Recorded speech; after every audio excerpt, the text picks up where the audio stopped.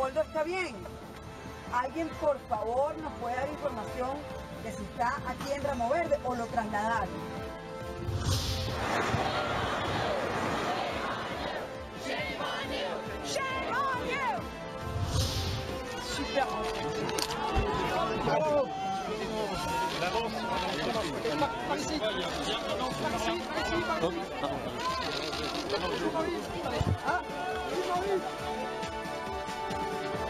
Noches, bienvenidos a TV Perú Mundo. Los saluda Josefina Townsend. Hoy nos acompaña Francisco Belaunde. Hola Francisco, ¿cómo estás? Vamos con la información. Mensaje de fe para mi familia. Hoy es 3 de mayo, son las 9 de la noche. Es un mensaje para Lilian. No entiendo la razón por la cual se quiere dar una fe de vida en este momento. Le mando el mensaje a mi familia, a mis hijos. Les digo que estoy bien.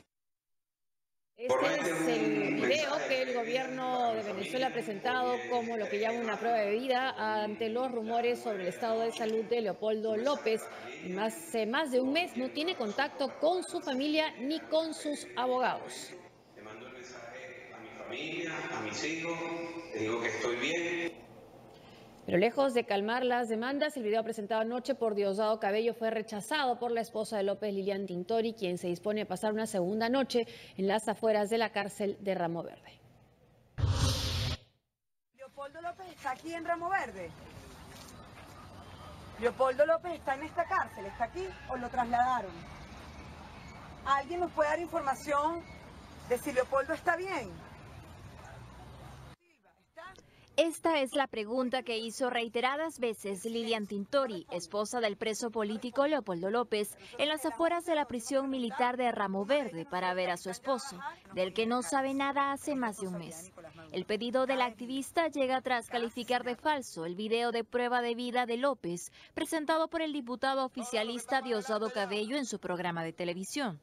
Un mensaje de vida para mi familia. Hoy es 3 de mayo, son las 9 de la noche. Es un mensaje para Lilian. No entiendo la razón por la cual se quiere dar una fe de vida en este momento. Le mando el mensaje a mi familia, a mis hijos. Les digo que estoy bien. Antes de la difusión de este video, Tintori acudió al Hospital Militar de Caracas al recibir el mensaje de que su esposo, sin signos vitales, había sido trasladado de emergencia por una supuesta intoxicación. Por Dios. Pero llegamos para acá y nos no nos dan información, no nos dicen nada. Y en Ramos tampoco nos dan información, no tenemos ningún teléfono para llamar. La Defensoría del Pueblo no nos atiende, no nos atiende la fiscal, no nos atiende nadie. Y ellos tampoco nos dicen nada. Acompañando a Tintori desde anoche se encuentran miembros del Partido Voluntad Popular y los abogados de Leopoldo López, quienes informaron en las últimas horas a una emisora de radio local que el estado de salud de López es incierto. La preocupación por el estado de salud de Leopoldo López llegó incluso a la cuenta de Twitter del senador y ex candidato presidencial o ex precandidato presidencial Marco Rubio en los Estados Unidos, quien retuiteó la preocupación que ya se daba en las redes. Y eh, bueno, pero esto continúa, Francisco. Francisco, no sé si lo ha seguido en los tweets. Hay una, la misma Lilian Tintori ha dicho que duda de esto que se llama como prueba de vida, ¿no? Para comenzar, por ejemplo, es uno de los tuiteros que ha, que ha puesto, ha comparado estas dos imágenes, ¿no? Que está distinto, ¿no? Sí, totalmente. En uno aparece flaco eh, y en otro aparece musculoso de pronto.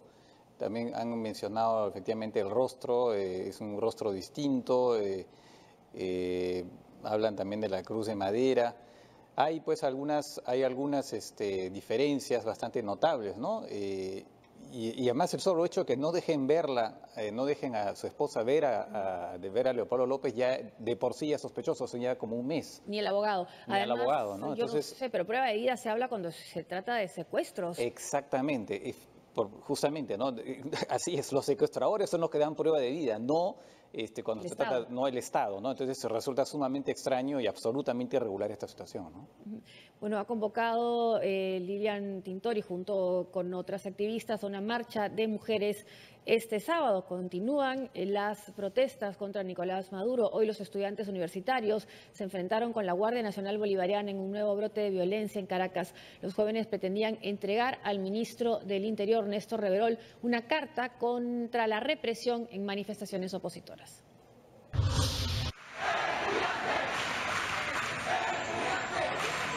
Los estudiantes universitarios también se sumaron a las marchas contra el gobierno. Hoy jóvenes de la Universidad Central partieron con dirección a la sede del Ministerio del Interior, Justicia y Paz. Sin embargo, en el camino de salida se toparon con un piquete policial que impidió su avance.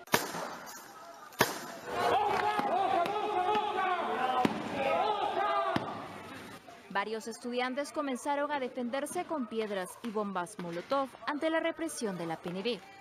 Aquí esto se trata de resistencia, esto no, esto no es violencia, esto se trata de resistir. Hoy sabemos que no se va a acabar eh, bueno, la lucha, pero hay que aguantar. Esto es lo que hace sumar más voluntades que estén en descontento contra este gobierno. Como consecuencia de la represión, 14 personas resultaron heridas en esta casa de estudios, uno de ellos por bomba lacrimógena en la cabeza, según indicó Cecilia García Rocha, directora de la Universidad OCB, quien además repudió el accionar de la Guardia Nacional Bolivariana. Le estoy exigiendo al Ejecutivo Nacional que cese la represión. No queremos un hogar más indutado, no queremos un estudiante más caído. Son jóvenes, son el futuro de nuestro país, son estudiantes y no se lo vamos a permitir. Mientras tanto, el estudiante Pedro Yamine, de 22 años, arrollado por una tanqueta de la Guardia Nacional Bolivariana, permanece internado en una clínica de la capital. Según la prensa local, el estado de salud del joven es delicado pues tiene una fractura en el tórax que afectó uno de sus pulmones. Quienes también rechazaron la represión ejercida contra los estudiantes fueron los miembros del bloque opositor Mesa de la Unidad Democrática, que anunciaron como agenda de los próximos días una gran marcha nacional de mujeres para el sábado.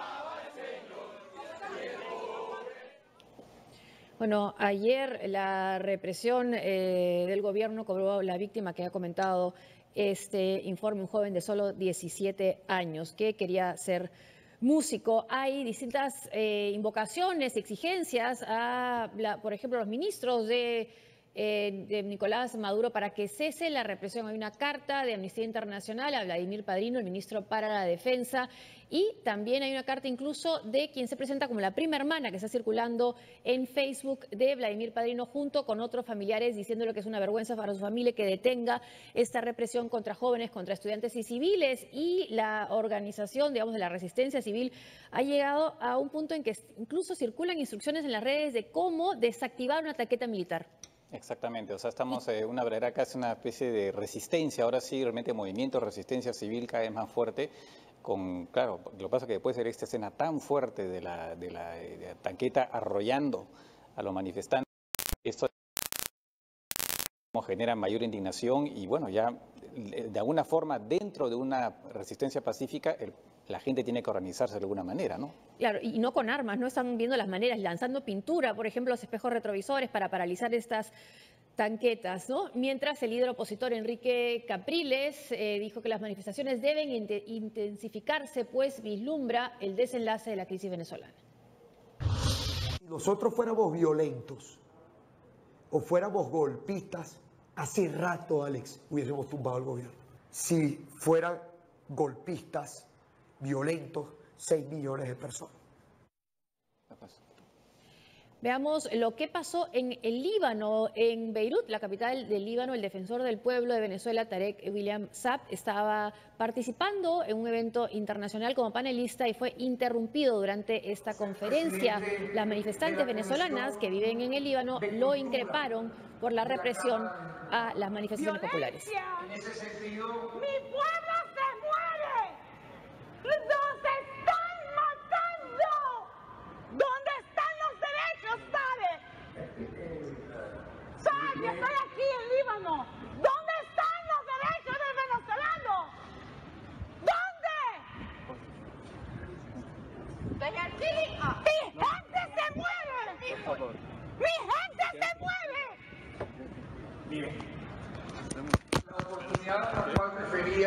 ¿Qué derecho?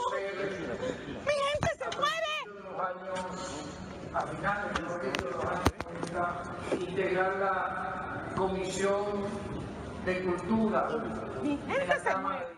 Y antes que sucediera esta protesta en el Líbano contra el defensor del pueblo venezolano, el propio defensor había publicado en su cuenta de Twitter que estaba participando en este importante panel. Comparto ahora ante el público y presentes, de público presente nuestros aportes constitucionales y luchas en derechos humanos en Venezuela. Bueno, parece una paradoja. Bueno, que pues, todo parece de un cinismo impresionante, ¿no? Es, impresionante. Además, eso sumado al baile de Maduro mientras la gente está muriendo es, es, increíble, ¿no? Es increíble. El presidente, de la, el presidente de la Asamblea Nacional Venezolana, Julio Borges, dijo que la intención de Nicolás Maduro de sacar a su país de la Organización de Estados Americanos, de la OEA, debe ser anulada. Aquí sus declaraciones luego de una reunión con el secretario general de la OEA, Luis Almagro. Como ustedes saben, el gobierno de Maduro tomó unilateralmente la decisión de anunciar su salida de la OEA. Este proceso es absolutamente nulo y además contrario a la Constitución. Y el día de hoy hemos traído un decreto de la Asamblea Nacional Venezolana en el cual se expresa claramente que ese, esa voluntad que tuvo Maduro de salirse de la OEA debe ser anulada y que Venezuela, por lo tanto, no puede salir del sistema interamericano de lo que es toda la representación de la OEA.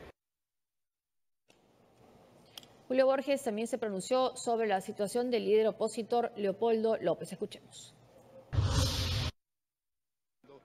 Todo esto que ha ocurrido ha sido algo que el gobierno montó con la intención más perversa y más cruel de seguir torturando psicológicamente no solamente a Leopoldo, sino a todos los que estamos en la misma lucha junto a Leopoldo y de alguna manera, también de manera perversa, distraer lo que fue el saldo de represión del día de ayer, que fue terrible, donde cobró la vida de otro joven venezolano, Armando Cañizales, de 17 años, quien murió así como Juan Pablo Pernalete murió horas antes, un joven también que no llegaba a los 20 años, producto de una represión brutal. Bueno, vamos a hablar de esta muerte del joven Cañizales, pero en, lo que se refiere a la salida de la OEA, que ha dicho eh, el presidente de la Asamblea Legislativa de Venezuela que no es eh, legal, no es constitucional lo que está haciendo eh, eh, el gobierno de Caracas, ¿puede hacer el gobierno, bueno, si en el Perú eh, el presidente de la República es quien define las relaciones internacionales, ¿no? ¿Puede hacer, puede salirse sin el consentimiento, por ejemplo, de la Asamblea? ¿Cómo, funciona una cosa así? ¿Es un tratado que hay que es un tratado, Es un tratado internacional que el gobierno normalmente puede denunciar, ¿no? Es un poco como el, presidente de Estados Unidos que quiere que hubiera podido denunciar los, los TLCs, evidentemente, ¿no? En realidad depende un poco de lo que dicen las constituciones, ¿no? Pero muchas veces es la decisión del presidente de la República. Ahora, al margen de eso, el hecho que saque no es un proceso inmediato, entonces eso no va a evitar que en todo caso la OEA vea el caso, vea el caso de Venezuela y este durante ese lapso, eh, este, Venezuela está eh, obligado por las disposiciones de la OEA y, por supuesto, la Carta Democrática. Ahora, todo esto en realidad este, prefigura, lo que estamos viendo acá en realidad prefigura eventualmente una caída. A veces la historia se acelera, ¿no? Y entonces podría prefigurar una caída, quién sabe, bastante rápida de Maduro, ¿no? Las marchas, lo que... No, me refiero a esta intensificación de la violencia puede generar este, cada vez más, este, digamos, fisuras dentro del régimen y eventualmente alguien, además por lo demás la, oposición, el mismo Borges, ¿no? presidente de la Asamblea, ha pedido a los militares que hagan algo. Entonces, en, otros casos que han habido, por ejemplo, lo que pasó en Egipto, ¿no? En Egipto fue, las manifestaciones fueron tan grandes, la violencia fue tan grande, que al final fueron los propios militares que derrocaron a Mubarak. Vemos el caso también de, Túnez, ¿no? que ahí tuvo que renunciar el presidente después de unas manifestaciones gigantescas. A veces, efectivamente, la calle genera presiones, o sea, genera tensiones en los regímenes autoritarios que hacen que finalmente desde adentro se genera la caída del, digamos, de quien en este momento ejerce la presidencia. Entonces, yo no descartaría en realidad, Vargas yo sé algo parecido, ¿no? No descartaría que esté no demasiado lejos la caída de Maduro. El joven que ayer murió en estas manifestaciones que reclaman elecciones. Eh, era además, estudiaba, quería ser médico y era parte del sistema de orquestas, ¿no? que es una cuestión emblemática que ha hecho como emblemática este, el, chavismo, ¿no? Y del cual la figura más representativa ha sido el director de orquesta Dudamel. Se ha cuestionado mucho su posición, pero parece que ahora ya ha sido tajante y ha dicho basta ya. Así es. Puede ser también un síntoma de que algo se está cambiando. Exactamente. debería claro, efectivamente, ¿no? Porque ya se están sumando varias, varias este, manifestaciones de ese tipo, ¿no? Eh, eh, a ver si ponemos el, el tuit anterior en las redes de está de, negro, ¿no? De luto. Pero ha dicho además que ya, basta. Cuando ya personas cercanas al gobierno se comienzan a pronunciar y cuando una serie de personas que hasta el momento se mantenían calladas, no decían nada y ahora están hablando y encima eh, también el hijo del, defensor, o sea, ya eso va prefigurando que hay una especie de, susto, ¿no? Y personas que quieren ya de una manera ahora sí ya este, este, aparecer como están reaccionando en todo caso, porque tampoco quieren quedar tan mal, ¿no? Y esto es en una partitura. lo que significa la muerte de este joven. Bueno, La palabra partidura. Partidura. Se le, se le eh, acusaba además a Dudamel de haber sido muy, blando ¿no? con este gobierno. Hasta hace poco nomás había dicho, bueno, invoco a las partes a que conversen, en fin. Claro, lo que pasa es que él ha sido, digamos, hay este apoyo efectivamente del régimen a todo lo que es orquestas, ¿no? Es además considerado un modelo el modelo venezolano y evidentemente él es un, es un poco como el caso cubano donde sea la, en la cultura se le ha dado mucha importancia y se podría considerar que es un lado positivo, si se quiere, de, este tipo de regímenes, ¿no? Pero bueno, ya llega un momento que, tiene que reaccionar, ¿no? Tiene que reaccionar y lo ha hecho, como lo hizo, por ejemplo, el cantante, este, el trovador cubano Silvio Rodríguez, que también se ha atrevido en su momento, él que ha sido partidario siempre del régimen cubano, se ha atrevido a emitir críticas. Entonces llega un momento que ya la cosa se vuelve absolutamente insostenible. El ministro de Relaciones Exteriores de nuestro país, Ricardo Luna, informó que los cancilleres de la OEA planean reunirse el 21 y 22 de mayo para fijar una posición sobre la crisis en Venezuela. Se están realizando consultas entre los países que tenemos una posición similar, que son más de nueve o diez, oscila un poco, también se han tomado contacto con Canadá y Estados Unidos y yo creo que eh, de alguna forma la reunión de la semana, no sabemos si es el 21 o el 22 de mayo, de los cancilleres este, va a fijar una posición y posiblemente un mecanismo que cambie la situación. Bueno, el Perú asumió una posición de liderazgo, ¿no? En reclamar eh, un camino democrático en Venezuela. Ahora, ya esta, esta reunión ya tendría una situación distinta, ¿no? Porque Venezuela ya no quiere ser parte de la OEA. Claro, pero sí, de todas maneras es importante desde el punto de vista político marcar una, marcar una posición, ¿no? Yo creo que eh, tiene que haber cada vez más eh, presión sobre Venezuela. Es verdad que no es una presión que sea pueda ser decisiva, pero sí es importante marcar, digamos, este, que los países se vayan pronunciando y este, porque es simplemente eh, la situación tal como está requiere eso, ¿no? requiere pronunciamientos firmes de los, de los países vecinos y aún así me parece que desde el punto de vista político es muy importante. ¿no? Una pausa.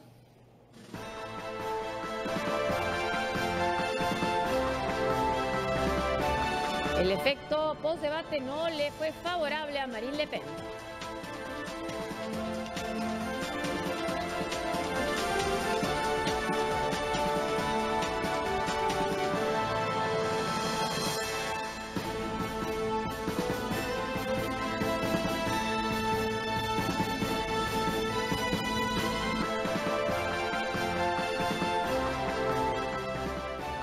Estados Unidos, los republicanos lograron finalmente concretar el primer paso para eliminar el llamado Obamacare. La Cámara de Representantes aprobó el proyecto que, eh, de reforma que sustituye al sistema de salud impulsado por el gobierno demócrata de Barack Obama.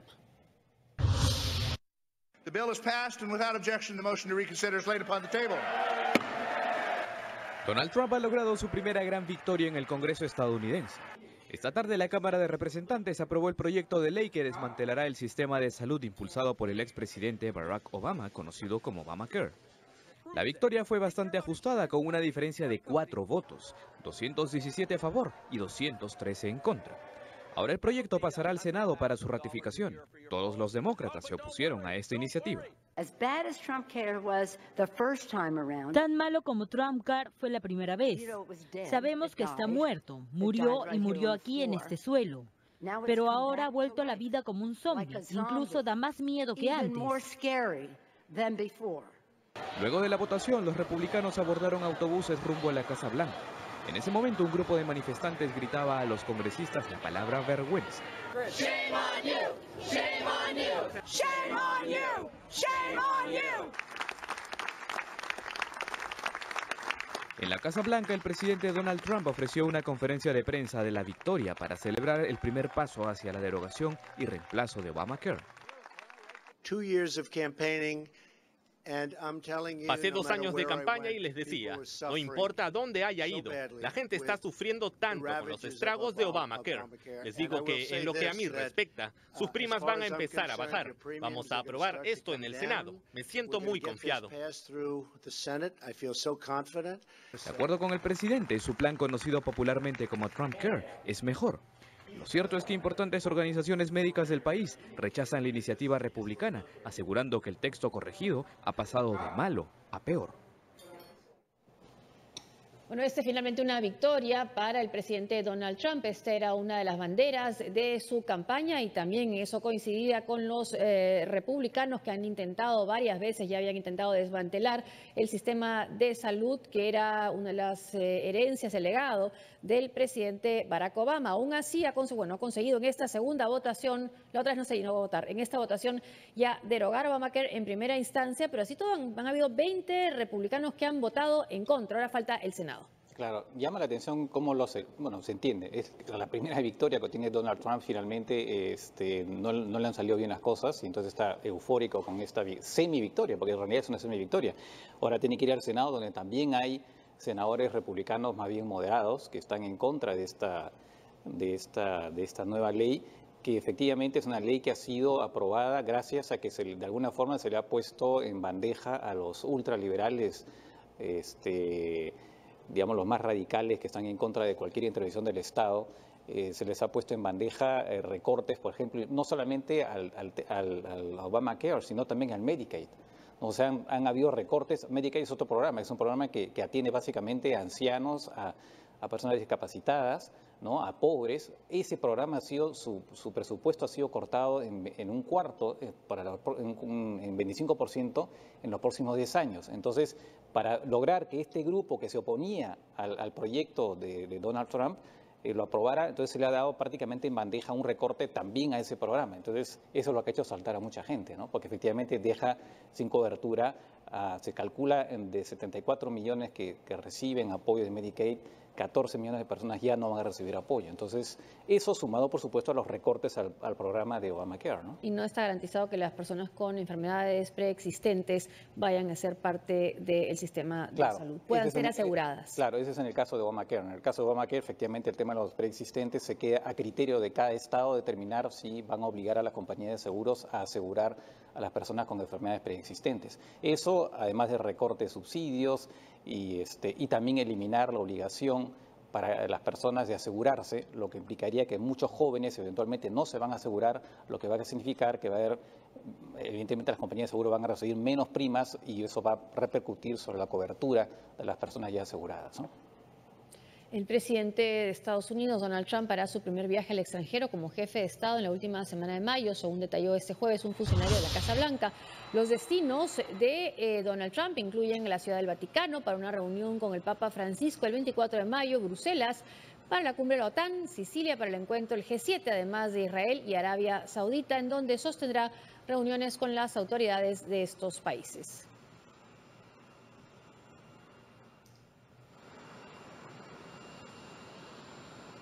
La reunión entre Donald Trump y Mahmoud Abbas generó reacción en la clase política de Israel. El primer ministro Benjamín Netanyahu criticó las declaraciones de Abbas y lo acusó de pagar a las familias de prisioneros a quienes ellos consideran terroristas. Escuchemos. Oí al presidente Abbas decir ayer que enseñan que los palestinos enseñan a sus hijos la paz, pero lamentablemente eso no es cierto. Ponen a su escuela nombres de asesinos masivos israelíes y financian a terroristas.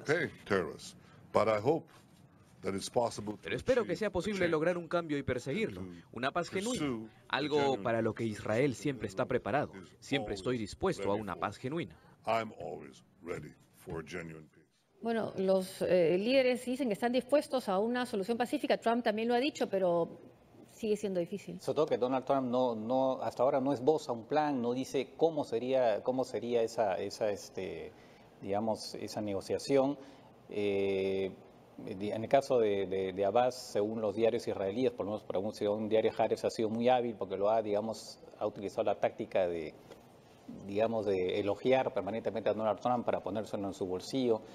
El, el tema de Netanyahu, el problema está que mientras la colonización siga, no puede haber negociación de paz, así de simple. O sea, no puede haber, este, no puede haber, no se puede asegurar la existencia de un Estado palestino que cada vez es más lejana en la práctica, por lo que se está viendo, por este crecimiento continuo de las, de las colonias. ¿no? Pero entre los cambios de Donald Trump, candidato de Donald Trump presidente, ya no ha insistido en esa propuesta de trasladar la embajada de los Estados Unidos de Tel Aviv a, Jerusalén. Sí, esa es una cosa importante, efectivamente, eh, porque hubiera jamás generado muchas resistencias.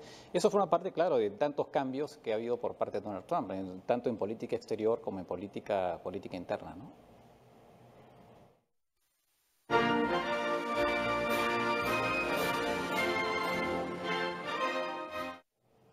ayer comentamos el debate eh, entre Marine Le Pen y Emmanuel Macron. Ahora veamos los candidatos. Eh, ayer vemos comentamos el debate. Ayer, ahora veamos la encuesta en la que se opina, se busca la opinión de los franceses sobre cuál fue el desempeño de los candidatos. Si el domingo próximo, a ver, Francisco, tú sí, o sea, si el domingo próximo, eh, se, bueno, lleva a cabo la si llevaran las elecciones presidenciales, segunda vuelta, eh, ¿por qué candidato votaría? 61 Macron, eh, Marine Le Pen 39. O sea, quiere decir que ha recuperado eh, eh, terreno Emmanuel Macron, claro, por pocas, eh, poco, poco, porcentaje con respecto a, una, en, porque en los últimos días había habido unas encuestas que más indicaban que Marine Le Pen estaba subiendo, que las distancias se habían acortado, ¿no? En dos o tres puntos. Ahora Después del debate, Macron recupera eh, un poco más de, puntaje y por lo tanto este, sus chances han acrecentado. Pero dicen que es el porcentaje de los que están seguros de ir a votar. Claro. Ahí sí hay un tema, ¿no? Efectivamente, porque claro, se prevé que puede haber muchas, se, prevé que pueden haber muchas, este, muchas abstenciones. Eh, pero aún así, ¿no? Eh, el consenso general entre los analistas es que este debate ha favorecido a Macron que Marine Le Pen simplemente apareció como una persona que decía cualquier cosa, pero sin sustentar realmente, bueno, ustedes lo han comentado ayer, eh, digamos, eh, mostrar, digamos, que realmente era una persona con capacidad de gobernar. Entonces, eh, me imagino que en estos momentos en varios lugares, incluyendo en Bruselas, deben estar respirando más tranquilos. O sea, la jefa se presentó como la jefa de la oposición, pero no como una probable presidenta, ¿no? Pero no ha cambiado mucho tampoco, ¿no? Un poquito. Digamos que, digamos, e, efectivamente, la, diferencia es mínima, ¿no? La diferencia en realidad este, es mínima, se está hablando realmente de porcentajes muy pequeños. Pasa que cuando hay este, este, esta polarización tan grande, todo el mundo está pendiente del más mínimo cambio para, pensar que, bueno, está, hay una tendencia, ¿no? Este, en fin, vamos a ver, pero claro, hemos pasado de 59 a 61, ¿no? De 59 a 61 en los últimos desde el primero de, mayo. Y lo que han estado dedicados hoy, eh, la, la, dedicada la prensa francesa, ha sido la acusación que ha hecho Marie Le Pen y Emmanuel Macron de tener eh, cuentas offshore en las Bahamas.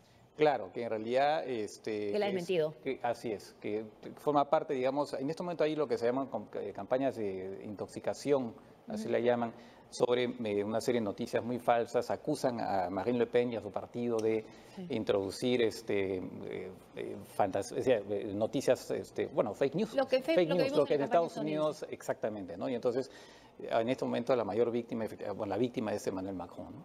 Porque es el que está más de puntero, ¿no? Así es. A tres días seguimos con Francia. La segunda vuelta, la ultranacionalista de ultraderecha Marine Le Pen acusó a la prensa de haberse alineado con la postulación de Emmanuel Macron.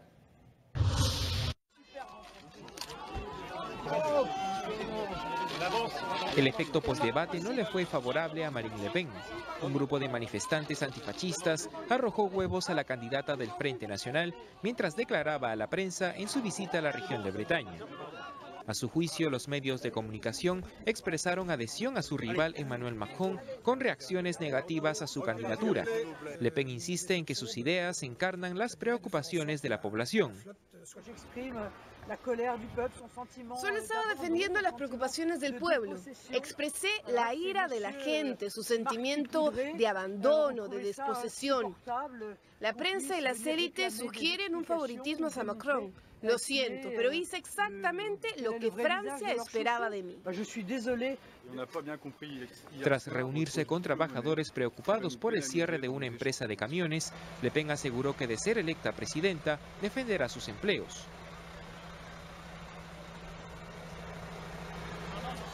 Posteriormente, el aspirante ultranacionalista encabezó un mitin en la localidad de Nemen, al norte de Francia, y prometió que cerrará las mezquitas. Tengo un programa para luchar contra la plaga del Islam radical. Y sí, cerraré las mezquitas radicales. Voy a expulsar sin vacilar a quienes prediquen el odio. A los de doble nacionalidad que fueron condenados por yihadismo, los voy a expulsar. Por su parte, Emmanuel Macron hizo un llamado para derrotar al Frente Nacional este domingo. Hace unos 10 días que estamos llevando a cabo esta pelea, que enfrenta a dos programas, uno contra el otro, contra el Frente Nacional. No lo abuchen, eso no ayudará, hay que combatirlos y derrotarlos.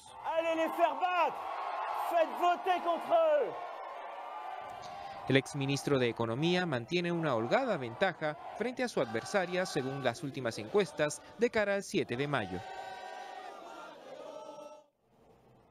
Y lo que resalta la prensa francesa es que Macron está eh, haciendo hincapié en, la, en apelar a, los votos jóvenes, a los votos de los jóvenes, de la juventud. Exactamente, que como ya hemos dicho en otras oportunidades, una parte de, esa, de la juventud se ha, digamos, se ha, ha, sido seducida por el discurso de, de, Marine Le Pen pero evidentemente ese es solamente un sector. Entonces él está apelando incluso también eventualmente a los jóvenes que votaron por, por Mélenchon, a pesar de que en realidad una mayoría de, partidarios de Mélenchon están más bien pensando en optar por este, abstenerse en estas elecciones. Así que cuesta arriba, ¿no? La ruta de Marine Le Pen a la presidencia, pero así no gane, eh, Macron se va a encontrar con un país, bueno, dividido, ¿no? Sí, eso está muy claro. Eh, en realidad, este, no se puede negar que de todas maneras eh, Marine Le Pen ha obtenido pues un, porcentaje que es importante, ¿no? 21, 22%. Eh, eso representa un caudal, un caudal y, en la segunda vuelta pues obtendrá pues este, un 40%, lo que significa también pues hay gente que en medio de todo está dispuesta antes que votar por Macron a votar por este por la, extrema derecha, lo cual la verdad que dice muy poco en realidad de, cómo bueno de cómo está el estado en este momento de, la opinión pública en Francia, ¿no? Una, efectivamente hay una es verdad, Marine Le Pen responde a, un malestar, a una desesperación. Eh, que sea en otros países, ¿no? Pero con particular agudeza en eh, Pero que existe contra el tema del Islam y la migración. Claro. Ahora, hay que decir que lo que está diciendo Marine Le Pen, por ejemplo, sobre cerrar mezquitas radicales, pues es una cosa que ya se está haciendo por lo demás, o sea, no es ninguna novedad, ¿no? Pero, en fin, forma parte de su, de su discurso. Se le acusa, bueno, le acusa constantemente de mentir eh, Macron durante el debate, ¿no? Mm. Eso fue como la frase permanente y constante. Lo que lo que pasa también en este caso es que si bien el papá también tuvo los votos para llegar a la segunda vuelta, no tenía lo que ella tiene ahora, una especie de normalización. No, hubo, Chirac no debatió con su papá, se negó. Claro, lo que pasa en realidad, efectivamente, ha, pasado ha pasado mucho tiempo. Ella ha logrado, es verdad, quitarle las aristas más desagradables al Frente Nacional, porque el padre es claramente antisemita, con un discurso revisionista, este, o en todo caso muy relativista con respecto al holocausto. Eh, y, eh, digamos, mucho más radical. Ella ha logrado este, darle una cosa un poco más respetable, entre comillas, ¿no? Pero la esencia sigue ahí, la esencia sigue ahí y, este, y bueno, por eso es que finalmente, si es que las encuestas, como sucedió en la primera vuelta, aciertan también en la segunda vuelta, finalmente va a ser derrotada. Pero una vez más, en un escenario en que de todas maneras un 40% de la población sí habrá votado por él. Que ya ha ganado también el Frente Nacional. Así es, así es. La audiencia televisiva en el debate presidencial de anoche fue mucho menor que de las elecciones anteriores. Las cifras reflejan la decepción del electorado francés. Muchos franceses se decían decepcionados este jueves por la mañana tras el debate electoral de Marine Le Pen y Emmanuel Macron. 16 millones y medio de personas siguieron en directo la emisión, una cifra inferior a la registrada en los últimos cara a cara previos a la segunda vuelta de las presidenciales. Decepcionante, repetitivo, agresivo, así calificaban esta mañana el debate muchos parisinos. Bastante decepcionante, dice este señor, porque no ha estado a la altura de un debate entre candidatos de la segunda vuelta. No hablaron de los detalles de sus respectivos programas, solo se enfrentaban el uno al otro, esperaba algo diferente, la verdad. La contestación del otro. Et franchement, j'attendais une autre dimension de ce débat-là. Muy repetitivo, solo se atacaban el uno al otro todo el tiempo y seguirá siendo así, no creo que cambien, asegura este hombre. Le débat Fue muy violento, por eso no me quedé a verlo entero. A mí la agresividad me molesta mucho, afirma esta mujer. me dérange forcément. La audiencia del debate quedó por debajo del duelo entre el socialista François Hollande y el conservador Nicolas Sarkozy hace cinco años y aún más de la registrada por el propio Sarkozy y la socialista Ségolène Royal en 2007. En esa ocasión, 20 millones de franceses siguieron la emisión. Bueno, un televidente a través de su cuenta de Twitter nos dice, eh, Omar Enrique, de, Macron garantizará la, de, la, decadencia y el pesimismo y continuismo de Hollande en Francia. Ataques a Le Pen muestran desesperación. Bueno, Macron sí ha querido desmar desmarcarse de Hollande, ¿no? Y es lo que constantemente recuerda a Marine Le Pen, que ha sido ministro de Economía, ¿no? Claro, pero una cosa, Macron no es el Partido Socialista, para empezar. Él tiene una, una visión bastante más liberal que, la de, digamos, que es cierto que algunos socialistas se han vuelto, si se puede llamar, liberal, liberales, eh, liberales sociales, por decirlo de alguna manera, y es verdad también que muchos dirigentes del Partido Socialista se han sumado a Macron y forman parte de su entorno, ¿no? Este, entonces, eh, sí hay pues una, hay un hilo de continuidad si se quiere, pero al mismo tiempo él quiere llevar sus reformas mucho más lejos que lo que Hollande este, eh, quería aceptar que las llevara. Entonces, es, es, una, por eso, se, por eso él es un centrista finalmente, es una persona que está a caballo entre, entre una izquierda más bien de tipo socialdemócrata y una derecha más bien moderada. ¿no? Y que insiste que él tiene una propuesta eh, optimista de futuro para Francia y le acusa a ella de ver solo lo malo y apelar al terror al miedo. Sí, es efectivamente, ¿no? Es un poco, estamos viendo... El, Trump y Exactamente, Hillary. es Donald Trump y Hillary, ¿no? Así sí. es, es el pesimismo que él, finalmente que le permitió a Trump ganar la elección. Y de hecho sí, hay un poco el desconcierto, dice que hay desesperación frente a Le Pen. Creo que hay desconcierto, ¿no? Frente a los políticos porque no han salido ninguno de los partidos que normalmente disputan la presidencia de Francia están en la segunda vuelta. Exactamente, ¿no? O sea, los partidos tradicionales este, han sido barridos, ¿no? Han sido barridos, particularmente el Partido Socialista. ¿no? Emmanuel Macron recibió el espaldarazo del expresidente de los Estados Unidos, Barack Obama, a través de un video publicado en las redes sociales. El exmandatario estadounidense sostuvo que el aspirante eh, representa a los valores democráticos y no a los miedos, en referencia a la candidata Marine Le Pen. Obama justificó esta intervención en las elecciones francesas al considerar que son de suma importancia. Escuchemos. I'm not planning to get involved in many elections now that I don't have to run for office again. No estoy planeando involucrarme en muchas elecciones ahora, pero las elecciones son muy importantes para el futuro de Francia y los valores que tanto nos importan, porque el éxito de Francia importa para el mundo entero. He admirado la campaña que ha dirigido Emmanuel Macron. Él apuesta por los valores liberales y ha presentado una visión del importante papel que desempeña Francia en Europa y en todo el mundo.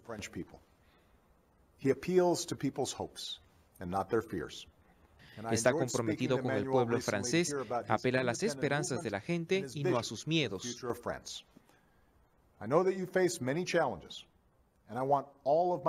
Me ha gustado hablar con Emmanuel recientemente para escuchar sobre su movimiento y su visión sobre el futuro de Francia.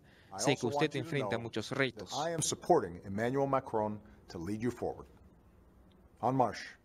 Vive la France. Bueno, sí hay pues esta preocupación, ¿no? Que se nota por este respaldo, además del presidente Barack Obama, que además ha sido un presidente que ha dejado su mandato con un alto porcentaje de popularidad. Pero claro, puede eh, eh, apelar a los, que, a, a los argumentos de Le Pen diciendo que Macron es el candidato de la clase política, ¿no? Exactamente, es una vez más una coalición, ¿no? La prensa, el establishment, todos contra la persona que quiere, entre comillas, cambiar las cosas. Pero que ella es parte del sistema también. Bueno, ya, ya tanto tiempo está, en, ya tanto tiempo está en, ella, en, digamos, en su partido, más ya está instalado en el paisaje político francés. O sea, no es, no es realmente un outsider. Y en la Unión Europea también ha estado y ella. y, efectivamente, ella es parlamentaria europea, varios de su, de su partido eh, están, son parlamentarios europeos. Entonces, claro, no es un, no es un partido nuevo realmente, ¿no? Pero, pero bueno, este, claro, Macron sí, además la juventud que tiene, 39, años, Efectivamente. Vamos hasta aquí la información de prensa.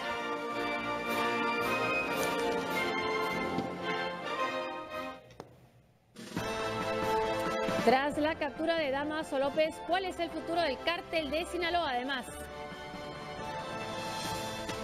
jóvenes sirios encuentran una vía de escape al horror de la guerra.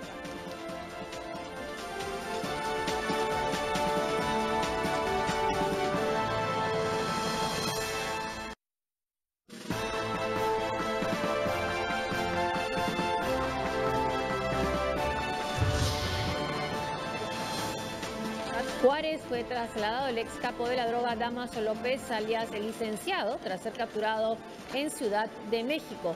Decenas de agentes federales custodiaron su desplazamiento mediante automóviles del ejército luego de su arribo procedente de la capital mexicana. Damaso López fue considerado como el sucesor de Joaquín El Chapo Guzmán para liderar el temido cártel de Sinaloa luego que este fuera capturado y extraditado a Estados Unidos en enero pasado.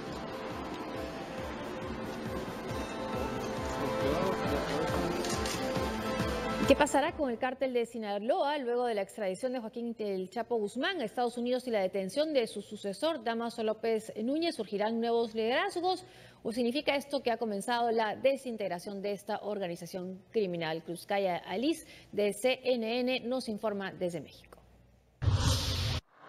En el Dorado, Sinaloa, el lugar donde nació Damaso López, nada ha cambiado luego de su captura el martes en la Ciudad de México. Por el contrario, sus habitantes repiten a los foráneos que todo está tranquilo. Así es tranquilo, nosotros decimos aquí que ojalá, pues aquí estamos tranquilos. Tranquilo y optimista también está el gobernador de Sinaloa. Pues esperemos que todo esto vaya eh, restableciendo precisamente todo el clima de tranquilidad, que es lo que queremos los sinaloenses. Las autoridades federales han atribuido a una fracción del cártel de Sinaloa, el grupo que presuntamente encabezaba Damaso López, el licenciado, su participación en la escalada de violencia que se vive en Sinaloa y en el sur de la península de Baja California, luego de la captura y posterior extradición en enero a Estados Unidos de Joaquín El Chapo Guzmán. Una guerra descarnada, según algunos analistas, entre Damaso López y los hijos de Joaquín El Chapo Guzmán por hacerse del control de algunas zonas estratégicas para el trasiego de drogas. Ellos eh, parece que no están conformes con la distribución que se dio y como ya no está Joaquín Guzmán en México y tampoco tienen contacto con él, entonces eh, están buscando salidas al mar, están buscando territorios que les permitan a ellos eh, eh, mantener cierto poderío. La detención de Damaso López, quien antes de su ruptura con el Chapo Guzmán era considerado como su brazo derecho, ha generado varias interrogantes. Una de ellas, en manos de quién recaerá el liderazgo del grupo que encabezaba y si estas pugnas podrían mermar la capacidad del poderoso cártel de Sinaloa o dejar abiertos espacios para que otros grupos del crimen organizado, como el cártel Jalisco Nueva Generación, con el que según las autoridades Damaso López habría entrado en negociaciones, pudiera hacerse de este multimillonario negocio ilícito. Cruz CNN, Ciudad de México. El secuestro de un funcionario de Naciones Unidas en el departamento del Guaviare fue confirmado este jueves por el ministro del Interior de Colombia, Juan Fernando Cristo, y el ministro para el postconflicto, Rafael Pardo. Ambas autoridades respaldaron la versión de que los responsables de este secuestro son disidentes de la guerrilla. Este funcionario estaba ayer en una sesión de socialización del programa nacional de sustitución de cultivos. Estaba con, con la alcaldía y funcionarios de la alcaldía en una reunión de unas 400 personas en este lugar, Barranquillita en el Baleares, y eh, fue secuestrado después de la reunión.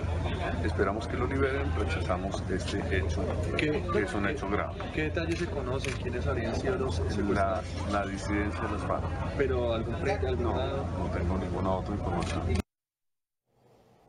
Y esto sucede cuando el Consejo de Seguridad de Naciones Unidas ha destacado el proceso de paz liderado en Colombia por el presidente Juan Manuel Santos, eh, quien, bueno, ha destacado que desde que comenzó el, eh, con ese proceso no han habido más muertes, pero claro, se ha dado esta situación. Claro, lo que pasa es que hay, siempre se habló de los disidentes de la FARC, ¿no? Eh, y aparentemente todo indica, como ha dicho el propio gobierno, que esto sería un acto de este, de este grupo de disidentes que se oponen a la sustitución de cultivos. En este momento hay un programa efectivamente, que forma parte de los acuerdos eh, de paz con la FARC, por las cuales, eh, con el apoyo de la población, digamos, se, erradica manualmente y no ya no como se hacía en una época este, mediante aspersión de un insecticida muy poderoso se erradica de manera manual eh, los, los este, cultivos de, coca eh, y reemplazarlos por cultivos lícitos.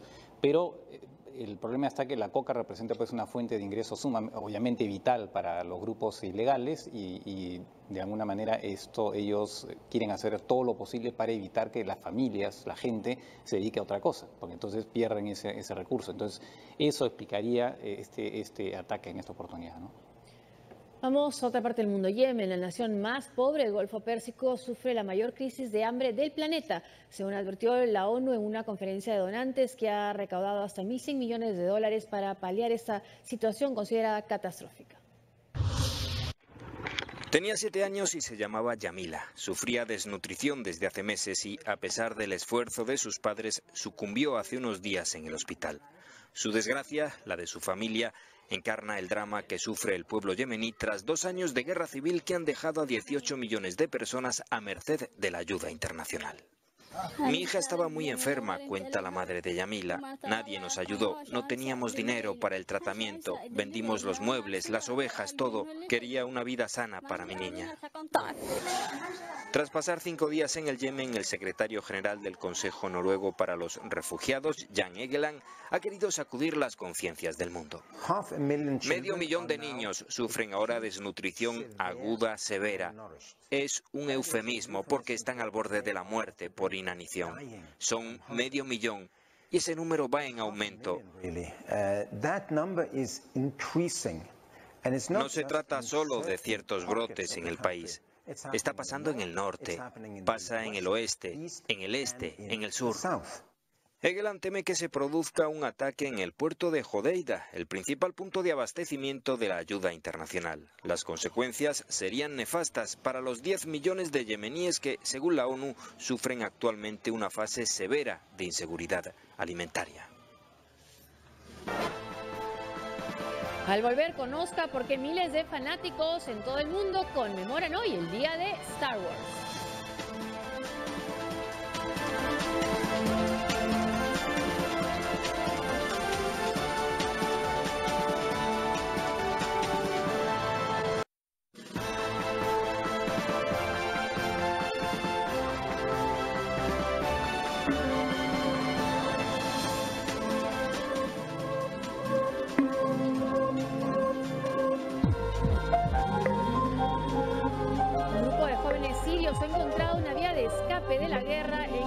Parkour o el arte del desplazamiento, disciplina que practican entre los restos de la ciudad rebelde de Inquil, saltando sobre techos destruidos por las bombas, corriendo entre edificios abandonados y escalando entre los bloques de desmonte. Alrededor de 15 jóvenes han estado practicando parkour cerca de dos años. Cuando no hay conflictos en la zona, los adolescentes filman y toman fotos de sus saltos para después colgarlos en la red. Parkour nació en Francia en la década de 1980 y ha ganado popularidad a través de los años.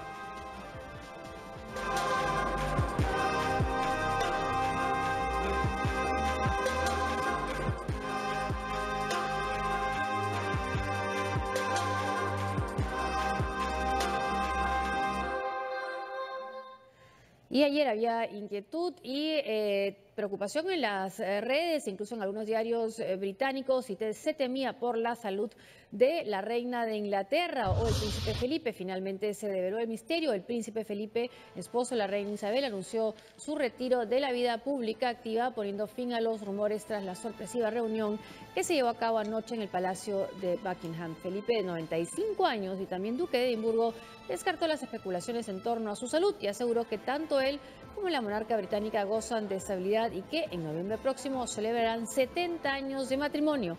Primera ministra británica, Theresa May, así como la ministra principal de Escocia, Nicola Sturgeon, elogiaron la trayectoria del marido de la reina Isabel, el príncipe Felipe, y expresaron su agradecimiento por su desempeño público.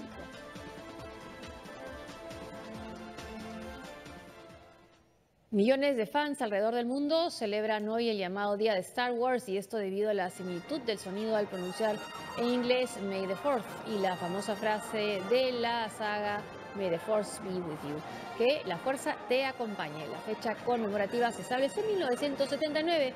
El 4 de mayo de ese año, un diario británico difundió un mensaje del Partido Conservador del Reino Unido en el que se felicitaba a Margaret Thatcher por haber sido elegida primera ministra británica. May the Fourth be with you. O que la fuerza esté con usted, pero en realidad tenía que ver con el número 4. Congratulations March, decía el texto. El juego de palabras fue inmediato. Este año el festejo es por partida doble, ya que se cumplen 40 años del estreno de Star Wars, una nueva esperanza.